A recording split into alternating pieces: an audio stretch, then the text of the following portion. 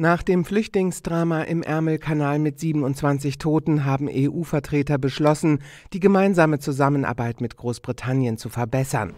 Das geht aus der Abschlusserklärung eines Krisentreffens im nordfranzösischen Calais hervor.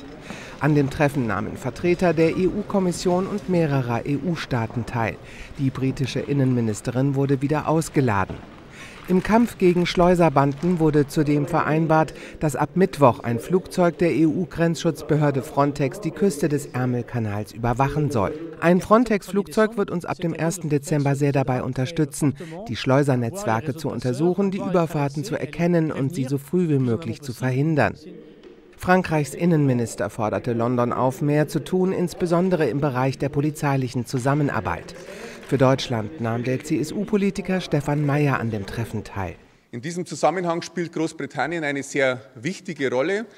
Wir sind der Auffassung, dass es dringend erforderlich ist, dass zwischen der Europäischen Union und Großbritannien ein Post-Dublin-Abkommen verhandelt wird. Ein Schlauchboot mit Flüchtlingen war vor wenigen Tagen im Ärmelkanal vor der Küste nahe Calais gekentert. Dabei starben 27 Flüchtlinge, darunter auch ein Jugendlicher und drei Kinder.